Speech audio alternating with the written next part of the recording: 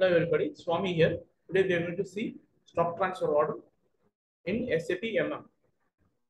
So this is my third video on stock transfer order.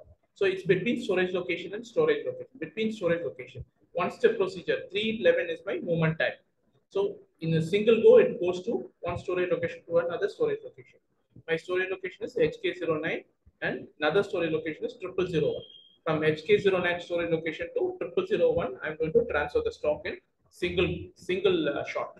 Okay, go to MIGO transaction code. Transfer posting other other. Okay, other.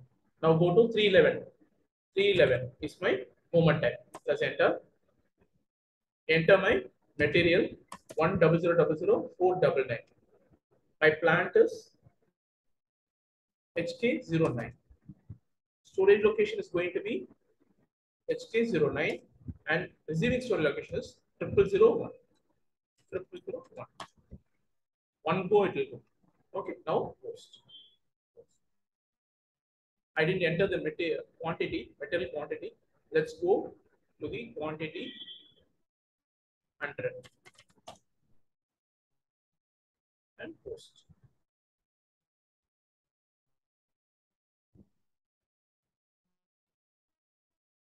Now let's check the inventory. Go to MMB inventory. So HK09, HK09 is my storage location. Should be none. Should be none. Now go to triple zero. It will be 100, 100 tons. It's transfer. See here triple zero.